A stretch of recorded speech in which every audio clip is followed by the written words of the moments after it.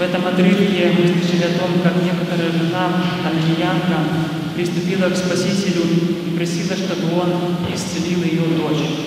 Она шла за Господом вслед и вопияла Ему, «Иисусе, Сыне Давидов, помилуй меня». И вот ученики по прошествии какого-то времени говорят, что «Господи, видишь, как она вопиет, исцели дочь ее».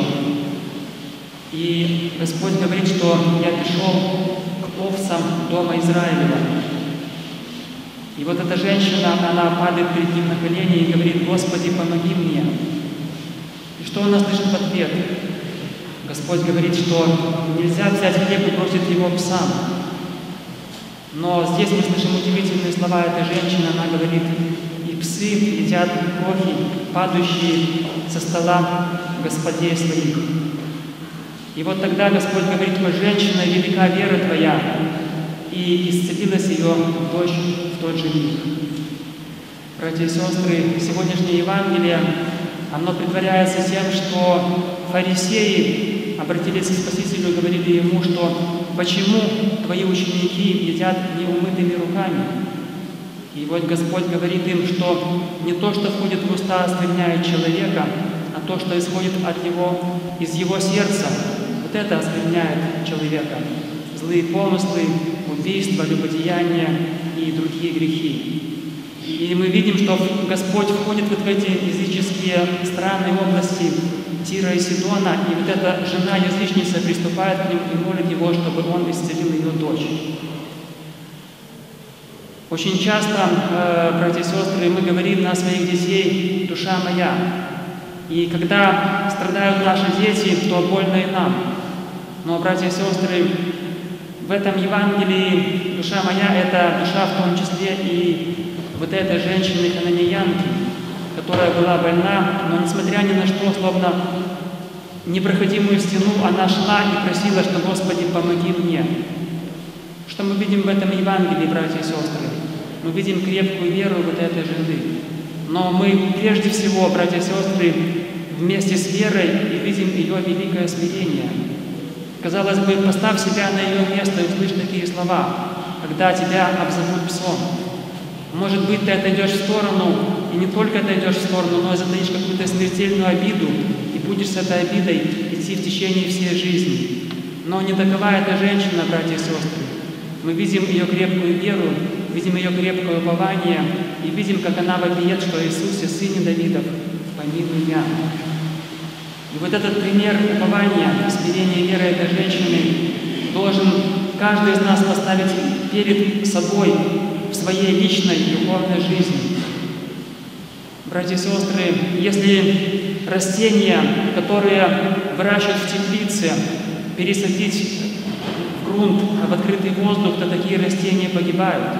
Также и христианин, если он в своей жизни не переносит никакие испытания, искушения, никакие либо скорби в своей жизни, то он не закалился вот в этих испытаниях, не, не, не приобрел вот этой духовной мудрости, духовного опыта и духовной зрелости.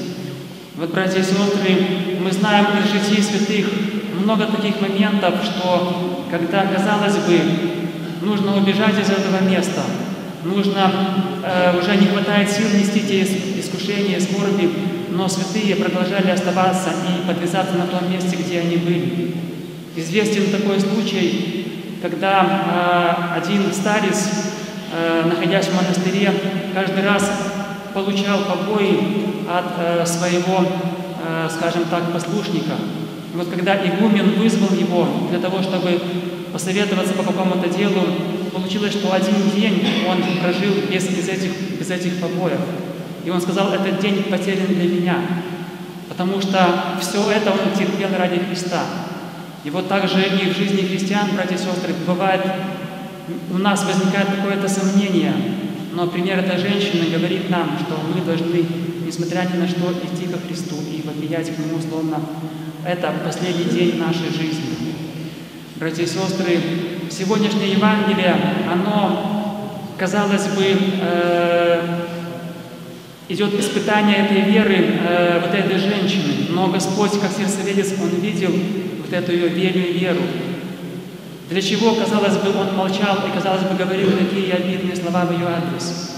Это был урок для апостолов, чтобы именно питаться не только крохами, казалось бы, он исцелил ее и все, но для того, чтобы показать им, что Господь пришел спасти каждого человека, какой бы ни был он национальности и каких бы ни был он взглядов. И Господь показывает им вот это вот духовное насыщение, что несмотря на то, казалось бы, что чуждались язычников э, иудеи, Господь показывает, что Господь пришел спасти каждого из нас.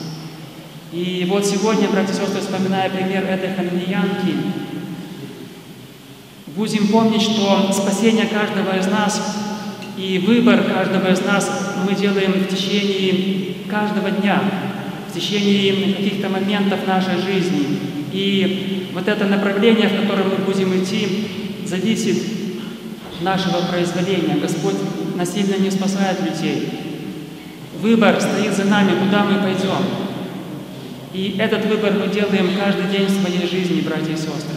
Мы можем засомневаться и отойти в сторону, а можем продолжать идти крепко, уповая на Бога. И можно привести, братья и сестры, страшные слова, которые вопияли иудеи, когда Господь был на суде у Понтия Пилата. Они кричали «Распни! Распни его!» И Пилат хотел оправдать, говорил, я не нахожу в нем никакой вины. Но вот этот пронзительный крик и постоянный крик «распни, распни его» все-таки сделал трещину э, в его вот, этом, вот этой борьбе, которая была у него. Он поддался этому сомнению и отдал его на распятие. И вот мы видим пример, братья и сестры, вот этой жены Хананьянки, которая неустанно, непрестанно, несмотря ни на что, кричит, «Господи, помилуй дочь мою», жестоко беспуется. И мы видим пример иудеев, которые кричат, «Распни, распни его». И вот в какой стороне, в какой части станем мы? Мы станем вместе с этой хананьянкой, будем неуклонны в нашей жизни духовной. Или же мы станем с иудеями и будем кричать «Распни, распни его». А вот этот выбор, казалось бы, уже крайние точки этого выбора, они начинаются с маленького. Они начинаются вот с этого зернышка, когда мы делаем выбор, в каком направлении мы пойдем. Поэтому, братья и сестры, пускай каждый из нас сегодня задумается, каким путем он хочет шествовать. Путем хананьянки, которая, несмотря ни на что, получила спасение себя и своей дочери, или путем произволения на зло, когда мы идем в погибель.